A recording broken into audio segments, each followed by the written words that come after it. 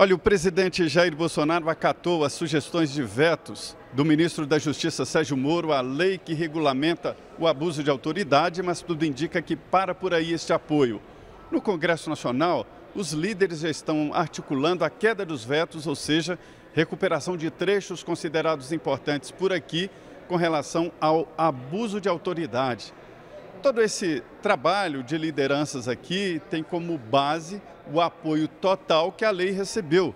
Mas entra em cena agora uma nova disputa. E aí, a participação da opinião pública, que fez até uma manifestação nacional contra a proposta que pode interferir na própria Lava Jato e, inclusive, no trabalho de juízes, integrantes do Ministério Público e policiais.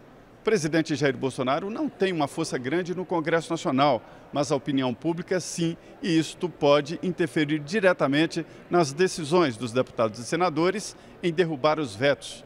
O presidente Jair Bolsonaro foi muito questionado aqui sobre este debate com Michelle Bachelet, que é uma das integrantes importantes da ONU, ainda no, na, na área de direitos humanos.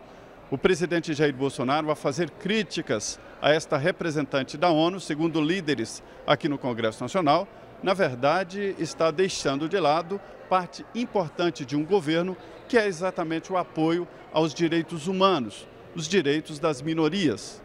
De Brasília, José Maria Trindade.